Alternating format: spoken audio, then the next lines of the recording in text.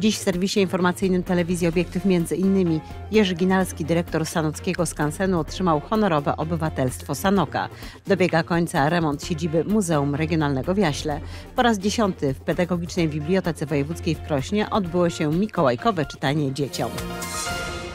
Jerzy Ginalski, dyrektor Sanockiego Skansenu, otrzymał honorowe obywatelstwo Sanoka.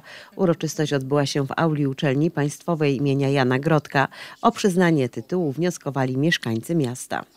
Myślę, że Sanok słynie z takich osób zaangażowanych, którzy swoją pasję przekładają na coś, co później buduje wizerunek naszego miasta. Muzeum Budownictwa Ludowego jest tego, można powiedzieć, przykładem. Tysiące, setki tysięcy osób nawet, które odwiedzają nas e, co roku, świadczy o tym, że ta praca nie idzie na marne. Z tego co, co wiem, jest to e, pierwszy e, obywatel, honorowy obywatel miasta Sanoka, e, który tą e, godność otrzymał z inicjatywy e, Komitetu Inicjatywy Uchwa- Uchwałodawczej. To się tak e, nazywa, to jest e, e, nowa taka możliwość stworzona e, po nowelizacji ustawy o samorządzie gminnym, gdzie grupa obywateli może taką inicjatywę zgłosić i takiż komitet został powołany wiosną e, ubiegłego roku.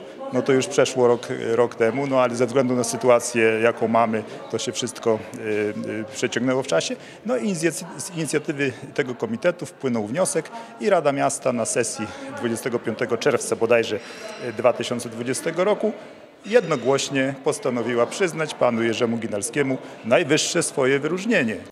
Jerzy Ginalski od 1999 roku jest dyrektorem Muzeum Budownictwa Ludowego w Sanoku. W okresie jego dyrekcji Skansen podwoił liczbę sektorów.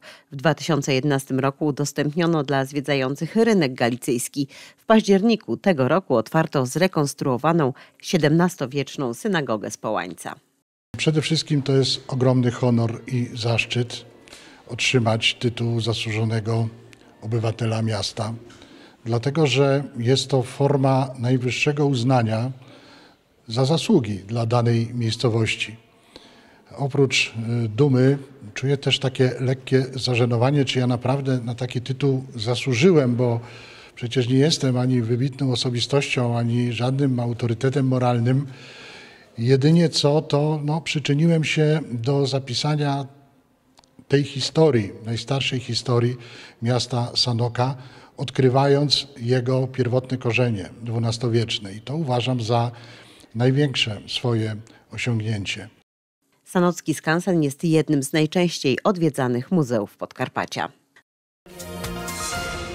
Mieszkańcy bloku przy ulicy Metzgera w Jaśle wrócili do swoich mieszkań. W połowie października lokatorzy zostali ewakuowani, ponieważ podczas pracy remontowych prowadzonych w lokalu usługowym na parterze doszło do uszkodzenia konstrukcji budynku. W ubiegłym miesiącu zakończyły się prace zabezpieczające blok. Usunięte filary zastąpiono stalowymi konstrukcjami.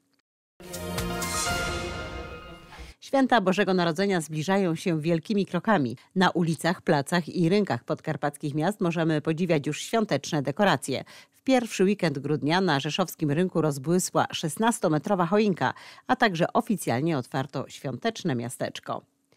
Zapraszamy serdecznie e, Rzeszowian i nie tylko, mieszkańców całego województwa, a także osoby spoza województwa do tego, żeby zobaczyli e, nasze świąteczne miasteczko. W tym roku jest wyjątkowe, wyjątkowo duże i e, jest moc atrakcji zarówno dla najmłodszych, bo mamy specjalną rynnę do zjeżdżania, mamy diabelski młyn, dla nieco starszych bo są kiermasze, różne rzeczy można kupić. Jest też sporo imprez zaplanowanych, pierwsze imprezy już za nami. W tym roku na świąteczne iluminacje Rzeszów wyda 1 400 tysięcy złotych. Dekoracje będą cieszyć oko mieszkańców i turystów do końca stycznia. Staramy się, oprócz tego, że e, te światła znajdują się na mostach, wiaduktach, na latarniach przyulicznych, e, wprowadzać do przestrzeni miejskiej e, takie mm, charakterystyczne elementy, jak na przykład znajdujący się niedaleko zamek świetlny, czy też bałwanek tutaj na skwerze Górskiego, czy też ławka na 3 maja. Są to takie elementy, przy których mieszkańcy chętnie robią sobie zdjęcia. Później widzimy w mediach społecznościowych, jak często są te zdjęcia publikowane.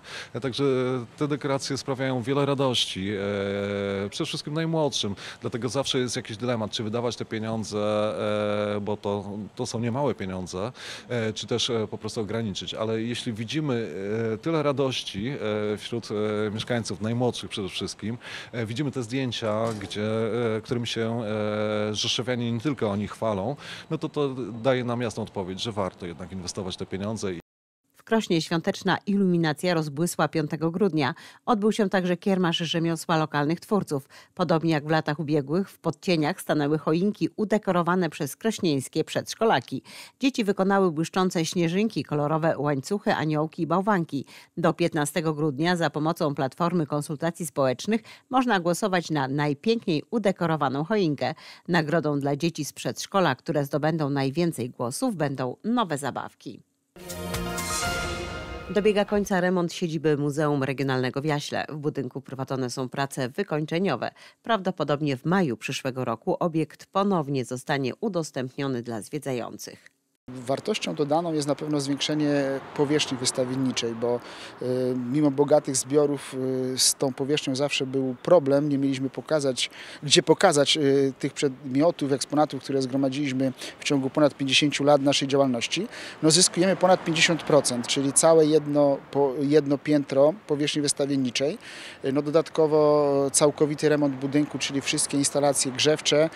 Zyskujemy wentylację, przez co poprawi się poprawią się warunki przechowania eksponatów, bo to jest dla nas y, sprawa bardzo istotna.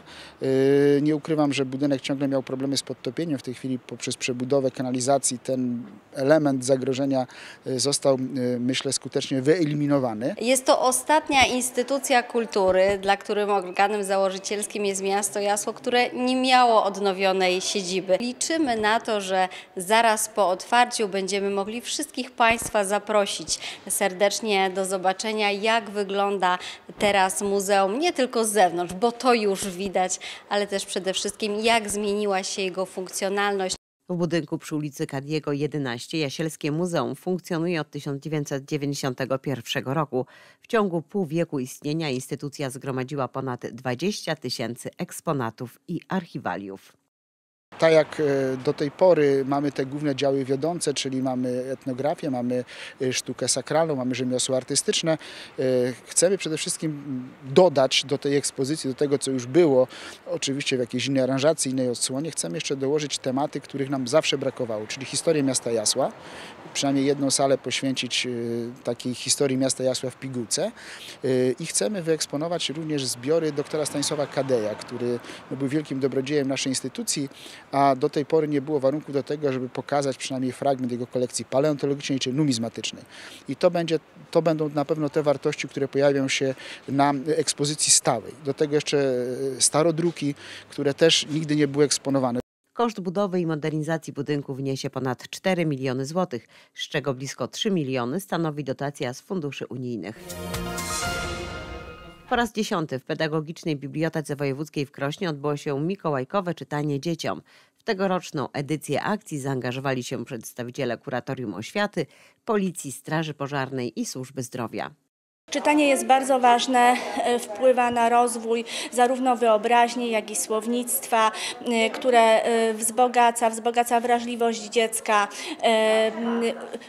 uczula na pewne e, ważne e, tematy społecznie. Jest również formą terapii, jest tak zwana biblioterapia, która na pewno dzisiaj w dobie pandemii, gdzie do przekazania jest wiele trudnych treści, e, które dla dzieci mogą być ciężkie do przyjęcia i do zrozumienia, za pomocą książki może zostać przekazana w taki sposób, żeby ułatwić dziecku jakby zrozumienie otaczającej rzeczywistości i świata. Poza tym jest to doskonała forma na zbliżenie dzieci i spędzenie wolnego czasu z rodzicami, dziadkami, nauczycielami. Można powiedzieć, że czytanie łączy pokolenia. Dzieci wysłuchały opowiadania Katarzyny Wierzbickiej Elf do zadań specjalnych, a my zapytaliśmy najmłodszych o ich ulubione bajki. Szewczyk Dratewka. O, zygzaki. Zygzaki? A co tam jest takiego fajnego? Nie no. mm, Jeszcze mam ulubione to, co Kajtek miał.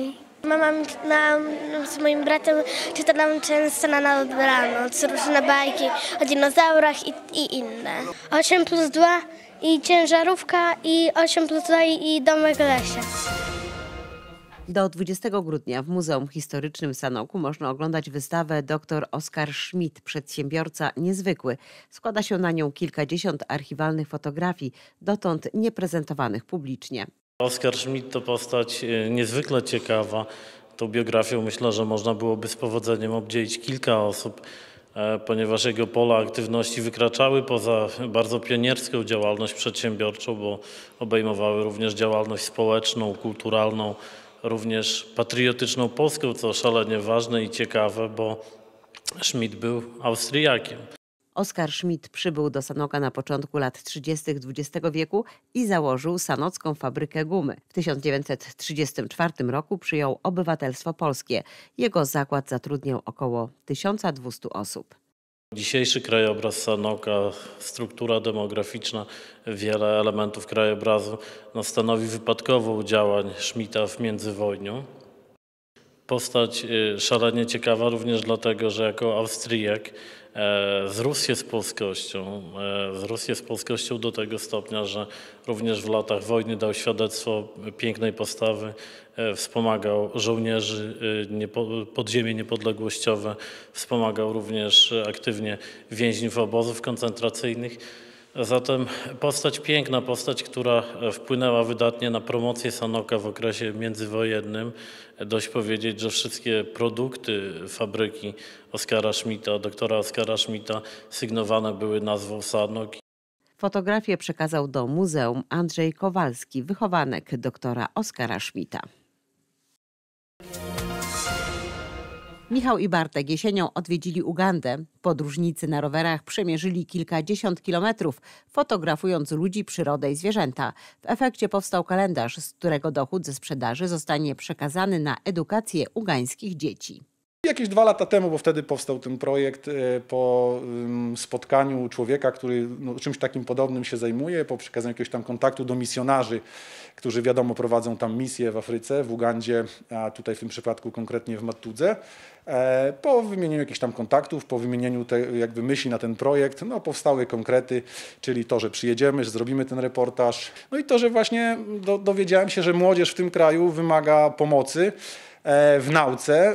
Y, Konkretnie no tutaj nauka jest w ten sposób y, jakby opłacana, że płaci się czesne za szkołę, które jest od razu skalkulowane z wyżywieniem. Czyli dziecko po opłaceniu takiego czesnego ma i wyżywienie, i naukę, ale oczywiście są to rodziny wielodzietne i nie wszystkich stać w Ugandzie.